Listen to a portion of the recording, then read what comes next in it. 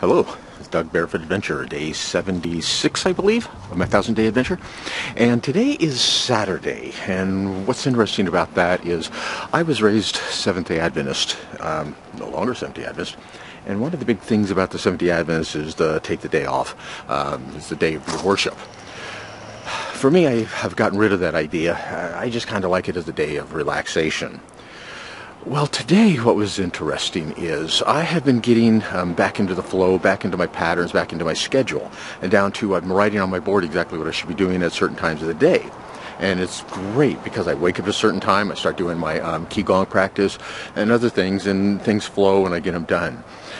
So today, um, even though it's not a spirit or a religious thing, I just like to wake up when I want to, no set time, and then just go through my day.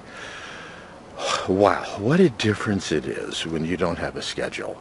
Because what happens is, next thing I know, it's 11 o'clock. Next, you know, and I'm just sitting around drinking coffee, having, and next thing I know, it was 1 o'clock. We went for a short drive today, and boom, 3, 3.30.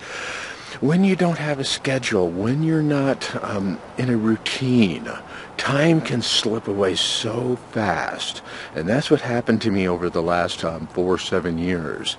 Even though I was in a deep um, spiritual journey, next thing I know, you know, weeks gone, months gone, a year is gone.